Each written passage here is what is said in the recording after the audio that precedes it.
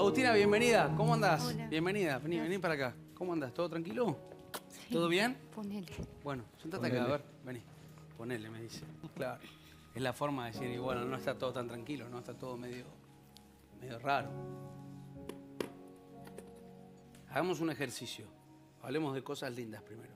Bueno, ¿Hoy sos feliz? Abstraete de sí, tus sí. viejos, abstraete de todo. La búsqueda que estás generando, ¿te hace feliz? ¿Estás buscando la Agustina feliz? Sí. Sí. Sí. ¿Y qué es esa Agustina feliz? ¿Qué imaginas con esa Agustina? ¿A quién, a quién- en, en quién te ves o qué ves de vos? Ser quien yo quiero ser, que nadie me juzgue, menos mis padres, que me acepten tal cual soy. Porque yo sigo siendo una persona igual que de otra, que tiene distintos gustos, con ropa o sexuales. Y busco mi felicidad.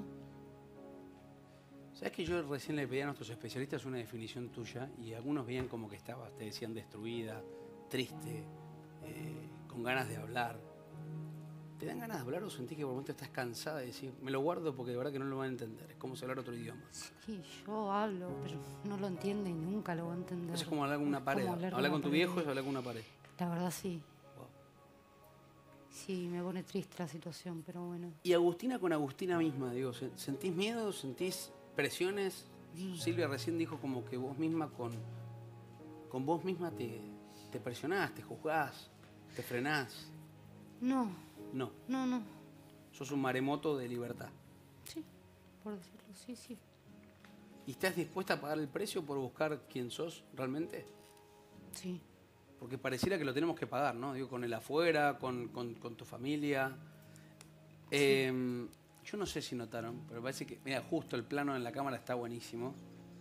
Eh, stronger es fuerte o la más fuerte o, o- o dureza, llamarlo Sí. digo la traducción en inglés. ¿Por qué te lo hiciste en la cara? ¿Es para que tus papás lo vean? ¿Para que quién lo tiene que ver ese tatuaje? ¿Vos? mi papá. Tu papá. O sea, ese tatuaje fue pensado en tu papá. Cada vez que me mires sentí que soy más fuerte que vos. Eso es una. Es más duro que una, que una piña eso, ¿no? Es decir, o sea, no hay nadie que me. que me ablande. Porque en esto hay que ser fuerte. ¿Y por qué pensás que es tan complejo entenderlo? Digo, cuando alguien quiere ser algo o alguien y viene otro y te dice, como yo no te entiendo, no te dejo que lo seas. ¿Por qué crees que es tan complejo en, en el que está afuera, en tus viejos que viven con vos todo el día? Y hay personas que tienen la mente demasiado cerrada, tanto como mi papá. Tienen la mente muy cerrada, piensan diferente, pero... eh, y esto también a mí me pasa que tengo muchísimas amigas y gente que conozco que les pasa exactamente lo mismo. Y ¿Qué no les está pasa? bueno. Eh, ¿Lo podés poner en palabras o hay cosas que no se pueden? No, hay cosas que no, no te puedo decir, pero, pero sí, no, no, no está bueno. Porque que tus propios padres te, te discriminen o te traten de enfermo por ser alguien que vos quieras ser, me parece que, que es muy fuerte. Y luchar contra eso todos los días, porque no, no tengo paz. No tenés paz. No. Es como si estuvieras en falta con alguien o le debes algo a alguien y no sabes por qué. O sea, no sabes por qué te llega una factura que vos no, Exacto. no mereces. Exacto, porque a mí siempre me inculcaron ser buena persona y es lo que soy. Y eso debe Es lo que importar. soy. Está buenísimo eso que decís porque tu papá llegó a la producción diciendo, no sé lo que es mi hija, no sé quién es. ¿Quién es Agustina? ¿Qué, qué es lo que sos? Yo soy una persona que voy en busca de mis sueños y quiero ser como soy y no me importa lo que piensen los demás. No tengo etiquetas, no, la verdad, no me interesa lo que la gente diga o el que dirán. Yo estoy muy conforme con quién soy yo y me basta a mí. ¿Y tus tatuajes qué dicen? Mis tatuajes... ¿Qué dicen de mm, vos?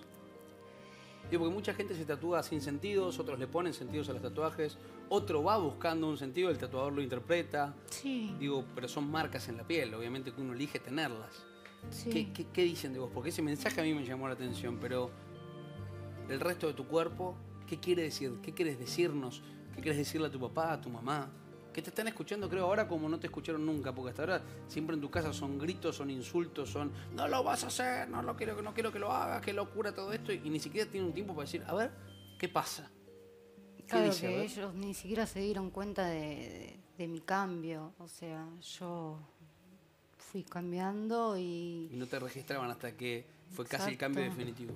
¿Sabes que yo le, decía recién, y mira, me, parecía como si me interpretaras con otras palabras, pero yo sentía que era como cuando a un libro le arrancas un par de hojas y te salteas un par de capítulos. Tal cual. Tu papá no es que fue a buscar otro libro para entender esos, esos capítulos que le faltaban esas hojas, sino que directamente llegó al final sin haber visto esa parte. Es como una película que la cortaron y llegaste al final y decís, ah, supongo que pasó esto, pero no sé qué pasó.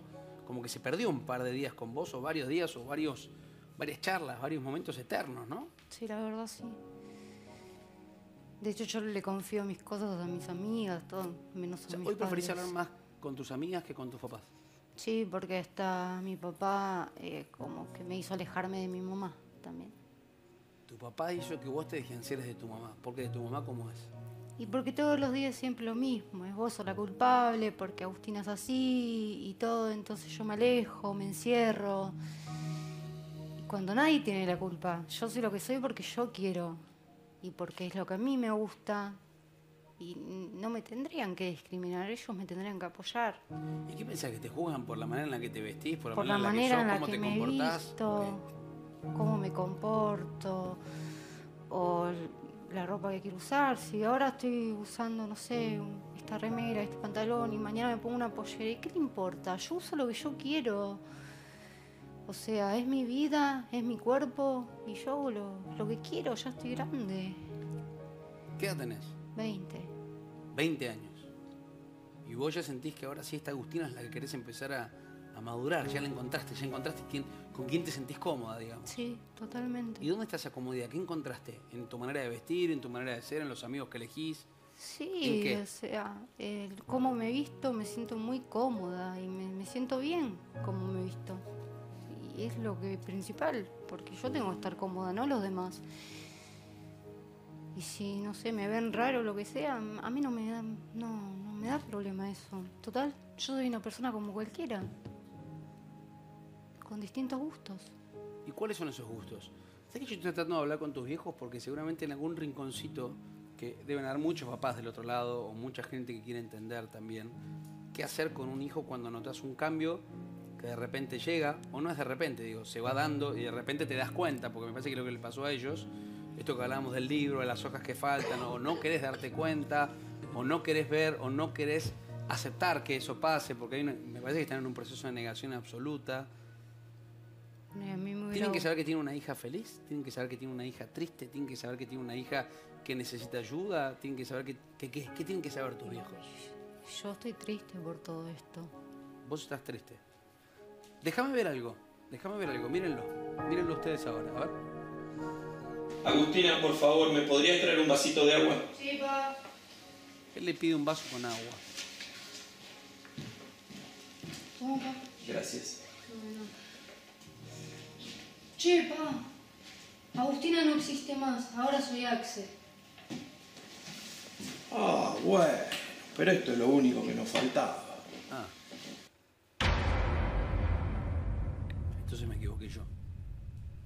Tengo que decir Axel o te tengo que decir Agustina? Axel. Axel sos vos. ¿Esa es la identidad que estás buscando? Sí. Vos te sentís Axel, no te sentís Agustina. Exacto. ¿Sabes que alguna vez hemos tenido una historia similar a la tuya, pero creo que con un par de capítulos más? Y es la primera vez que estamos en la etapa de un conflicto donde me parece que todavía está en la etapa de transición. O sea, como que está en la etapa de realmente definir y buscar quién sos. Sí. Agustina, ¿dónde quedó? Entonces ya, ya está. Cierro el capítulo, Agustina. Sí, ya me encontré. Ya te encontraste. ¿Y qué buscas de ese Axel? A ver. Ser feliz. Ser feliz. Principalmente. Ok. Sin que nadie me esté señalando porque no estoy haciendo nada malo. ¿Sabes que una vez hablé, y, y perdón que no recuerde el nombre, acá en el programa, con una persona que vino y que ya había, Lorenzo era, Lorenzo, sí, con Lorenzo hablé, que ya había venido, digo, con esa identidad perfecta de saber realmente quién era, y lo que quería. Y, y vos hoy me estás diciendo, yo quiero ser Axel. Digo, lo estás buscando todavía. Sí. Y siento que a tu viejo le choquean un montón de cosas, ¿viste? Primero, bueno, la manera de ser, cómo te vestís, tus gustos seguramente, tus preferencias, tus elecciones, tus decisiones. Porque está viendo una persona que está creciendo, ¿no? Sí.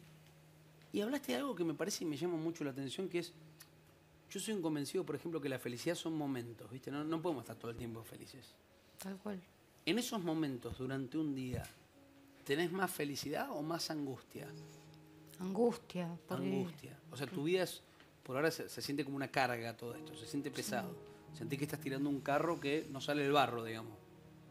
¿Y qué te gustaría, digo, verlos a tus papás y que tus papás que te devuelvan hola Axel? ¿O que te sigan diciendo Agustina, por favor? Porque a Lorenzo le pasaba esto, que sus propios padres, si no recuerdo mal, o su madre, la llamaban por su nombre de mujer, que era Lorena, y nunca lo llamaron Lorenzo. Sus padres. Pero a las únicas personas que eh, él aceptaba que la llamaran Lorena y no Lorenzo eran sus padres. Entonces yo te pregunto a vos, como estás en esta etapa de transición, vos pretendés que todo el mundo encuentre ese Axel, porque digo, sabés que para tus papás también, ¿no? Porque en este mundo que nos van imponiendo cosas, a veces hasta de manera subjetiva, casi sin verlas, te dicen, nació una mujer, tenés un documento de una mujer, y ahora vos te, dice tu propia hija, estoy buscando ser Axel, estoy buscando ser un hombre, o estoy buscando no ser un hombre, quizás una persona que llame Axel, eh, debe ser choqueante para ellos. De hecho, lo es. Sí, pero ¿Qué sí. entendés por su lado? ¿O estás buscando tu propio camino y después que lo acepten o no lo acepten? Y yo busco que lo acepten, pero... eh, ¿Comprendés la, la- la sí. emoción de ellos? La. Sí, la comprendo, pero ellos, o sea, más mi papá, eh, se debería poner en mi lugar, o sea, entenderme un poco más y preguntarme cómo estás y esto te hace feliz. Y si mi felicidad tendría que ser la de él, no estar jugándome todo el tiempo o decirme que estoy mal de la cabeza, porque no lo estoy. Y todo para muchos casos. ¿Sabés que charlaba con tu mismo. viejo al principio y decía, yo siento que cometí un error? Y bueno, mal por él. Me parece que los dos deberían sacarse esa culpa, ¿no? Porque él siente que cometió un error y vos decís que no cometió un error. ¿no? Porque pareciera que es un tema de educación, ¿me entendés? Digo, Es que ese- a mí me educaron muy bien. Ah. No tiene nada que ver la educación con la orientación sexual. no tiene nada que ver. No. tu educación con tu orientación sexual. ¿Sabes por qué lo repito? Yo te puedo asegurar que del otro lado hay un montón, montón de gente que debe pensar como tu papá o tu mamá, Sí, lo sé. pero un montón. De hecho, te debe pasar hasta con los padres de otras amigas o Sí, amigos, sí, te debe pasar pasa. un montón. Sí. Y no puedo dejar de preguntarte de alguna manera para que ellos puedan, no ablandar. Yo dije hoy no buscaba un programa para convencer a nadie, simplemente para empatizar, para comprender, que me parece más interesante. Pero me imagino que en vos también, abstrayéndonos de tus papás, debe haber un momento donde es como un gris. Viste que estás pasando de Agustina a buscar a Axel. Y ese mientras tanto, ¿qué pasa en vos? Porque es, es una decisión realmente. Sí. Es decir, o niego todo esto toda la vida, o lo acepto y voy en busca de eso. ¿Viste que hay gente que se queda ahí toda la vida? o? Eh, sí, de hecho yo soy así desde que tengo uso de razón. O sea, tenés una gran personalidad. Pero yo me reprimí por mucho tiempo justamente por mis padres. Ok, ok. Mira, está Silvia Freire, el doctor Carp, Laura Ufal, digo, te están escuchando con mucha atención. Eh, y es súper interesante. A mí estas charlas, a mí me encantan el programa porque por lo general siempre estoy a 250 kilómetros por hora. Y parar un poquito la pelota viene bárbaro en la tele para entender estas historias. A ver, Silvia, Sí, primero quiero preguntarte tu edad. 20 años. 20. 20. Ok. Eh, creo que una cosa que vas a tener que aprender, me parece que te va a ser muy útil, es a expresar. Por supuesto que todavía no estás ni vos segura de lo que sos ni de lo que querés, porque acá entraste, nosotros hemos visto un video que hablaba de tu bisexualidad. No sé si lo viste, no sé si recordás. Sí, no, porque yo no me pongo etiquetas. Exacto. Bueno, pero eh, de tu boca yo escuché eh, bisexual, lo escuché en alguno de los videos, ¿sabes? Sí. Entonces, eh, para las personas que no estamos acostumbradas a esto, nos, nos sirve muchísimo que nos hablen con claridad. Quiero que sepas, por supuesto que no hablas con más claridad de la que tenés, pero por ahí tendrías que fortalecerte en eso, te podría venir muy bien, porque entraste y le dijiste a tu papá, toma el vaso con agua. Ah, escúchame, ahora no soy más, soy Axel. Eh, convengamos que es un poco fuerte para cualquiera. Imagínate para una persona anticuada, ¿cómo lo querés llamar? Lo que yo noto, y quiero este, que me permitas que te lo diga, es que vos exigís de nosotros un respeto que no tenés, exigís de nosotros una comprensión que no nos das y nos juzgas tanto como vos te quejas de ese juicio que tanto, eh, que tanto te duele, bueno, nosotros también nos sentimos juzgados. Bien, eh, es una opinión. Digo, tomarlo como una opinión y, y durante la charla vamos a ir haciendo esto, ¿no? Vamos a ir viendo porque es lo que le pasa a uno. ¿Querés decirle algo así? Sí, es que igual fuerte, de, de todas maneras, me parece lo que vivo yo día a día. Eso también es fuerte y yo no juzgo a los demás. Si tampoco me gusta que me juzguen a mí. A ver, Laura. Hola Axel, ¿cómo te va? Hola. Eh, me parece bien que tengas nombre, el que elegiste, me parece bien que pronto tengas un DNI que diga cómo te llamas con tu nuevo nombre, porque eso te va a ayudar y vos sabés que hoy la ley te lo permite, así que me parece bárbaro. Te veo sonreír, qué alegría, por fin, mirá qué lindo. Bueno, escúchame, Axel, además de todo esto, ¿qué vas a hacer cuando seas grande? O sea, laboralmente, ¿qué te gusta hacer? ¿Qué te importa hacer? ¿En qué laburarías? ¿Qué estudiarías? ¿Qué es de tu vida? Y ahora no estoy pensando de lo que voy a estudiar. Y trabajaría de, no sé, de, de lo que sea con tal de yo salir adelante. ¿Sabes qué pasa? Que es importante. Porque además de toda la fuerza que tuviste para elegir sexualmente lo que, lo que elegiste y tener una identidad nueva que me parece bárbaro, el tener un oficio, una profesión, una vocación, lo que tengas en la vida, te va a dar independencia. Y eso es lo único que te va a separar de tus papás. Claro. Porque todo el resto va a venir con charlas, con tiempo, son heridas duras. Tu viejo no va a cambiar, Ya vos sé. vas a cambiar. Pero el tema es que tu mamá está cercana, me parece. Lo importante es qué vas a hacer vos con vos. Todo lo demás no interesa. Está con una batalla importante ahora, Claro. ¿no? Eh, Bueno, pero hay que hacerla paralela. Obvio. A ver, a ver, Carp, a ver. Sé que usted me va a retar. ¿Eh? sé que usted me va a retar, pero me es imposible no pensar en que voy a hablarle a mi hija. Ok. Es imposible no pensar eso. Porque en 15 años, en 20 años puede pasar que mi hija venga y diga tal cosa, de lo que sea, ¿eh? desde una profesión que a mí no me gusta, desde una elección sexual que a mí no me gusta o me gusta, o que un equipo de fútbol que a mí no me guste. ¿Ok? Puede pasar cualquier cosa. Pero no me pienso perder un día de charlar con mi hija o mi hijo y preguntarle cómo estás. Y cómo podemos, cómo podemos aprender juntos en este camino. Porque en definitiva yo no entiendo nada de esto. ¿Tus ¿eh? hijos te preguntan cómo estás? ¿Cómo te sentís? Mi mamá sí, pero. Tu mamá, tu papá no. No, tu papá como que cortó re- diálogo. como- sí. Reclamos y más reclamos y me juzga. Y que vos tenés que hacerte ver y que esto y que el otro y siempre lo mismo. Qué cosa, ¿no? Porque si no fuéramos lo que somos, ¿en qué nos juzgaríamos también, no? Si vos mañana te levantás y decís, ¿para qué me casé con la persona que me casé? ¿Para qué me enamoré de la persona que me enamoré? ¿Por qué hago lo que hago? Claro. Y lo quisieras cambiar, ¿lo harías o no lo harías? Dejo una pregunta abierta porque siempre voy con la Está teoría más estúpida de todas. Estoy cansado de mi laburo, yo me pondré un barcito en la playa y lo hemos citado muchas veces ese ejemplo. Y, y me pregunto también, digo, ¿y por qué no lo haces? Digo, ¿para qué, qué estás perdiendo tiempo? ¿Qué, qué dudas? Eh, estamos en vivo, pero voy a hacer algo que es sin filtro y que sé que va a funcionar espectacular, porque conozco bastante la gente que nos mira. Voy a empezar a transmitir en mi Instagram en vivo para que te vayan mandando mensajes mientras vamos charlando, ¿te parece bien? Bueno, Digo, a toda la gente que se suma ahora, arroba NG Magaldi, estamos transmitiendo en vivo con Axel. Yo la, yo, yo la presenté como Agustina y conociendo su historia también tardó su tiempo para explicarnos qué es Axel. Y obviamente vamos a, a llamar y respetar por quien dice que es, no por lo que vemos, ni, lo, por lo, ni por lo que sentimos, ni por lo que vos crees que permitís o no. ¿Sabés que muchas de las... Uy, hay un montón de gente. Ahí pueden entrar a arroba NG Magaldi, lo vamos a poner en el graph para que lo vean ustedes. Eh, pueden hacer preguntas también, que voy a intentar leerlas y, y acercarme a, a las dudas que tengan ustedes, porque en las redes también seguramente se mandan un montón de mensajes, te van a llegar un montón de mensajes a vos eh, con tu historia y me parece súper atrapante porque estos son los temas donde uno tiene que ocuparse más que preocuparse. Em, ¿Por qué elegiste el nombre Axel? Porque me gusta, ¿Te gusta? ¿Ok? me gusta y me gusta que me llamen así, por ese nombre. Es el que quiero para mi DNI. Todavía no iniciaste eso. No, no, pero lo voy a iniciar. Lo vas a iniciar. Sí. ¿Y te imaginas cómo va a ser el día donde recibas el DNI con tu...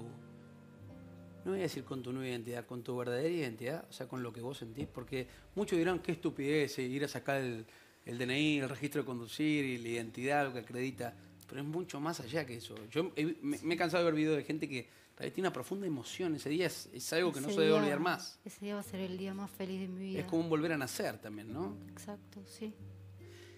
¿Sabes que en esta charla que tuvimos con, con- con esta persona, Lorenzo, a quien aprovecho le mando un beso si me está mirando porque vino acá al programa y también se abrió de una manera súper interesante. Mira, acá dice, por ejemplo, Chuchi, yo te apoyo y siempre no hay que juzgar a los demás sin antes verse a uno mismo. Fuerza, te dice Mariela, corazón. Gracias. Hola, te saludo. Bueno, hay más de 5.000 personas que ahora se van a sumar más. ¿eh? Pueden entrar acá en vivo. Fuerza, Axel, seguí tu corazón.